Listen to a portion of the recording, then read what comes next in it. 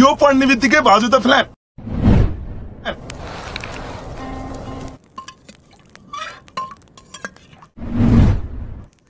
पाक्यो हो अब त?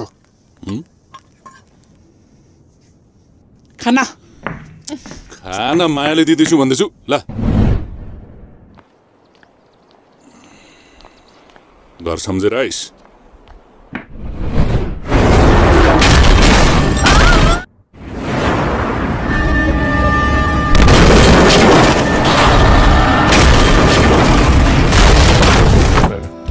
मूल गरेर भत्काइदिनुहोस् काका न अखबर रोप्नु होइन म चाहिँ अकबरे रोप्नलाई चाहिँ छँदा खाँदाको घर भत्काउनु कान्छो छोराले हामीसँगै बसेर हामीलाई पाल्ला भनेको त अनि हामी बाबुमालाई रुङ्न पर्दैन अनि मलाई के बाबुआमा रुङ्न जन्माउनु भयो तपाईँहरूले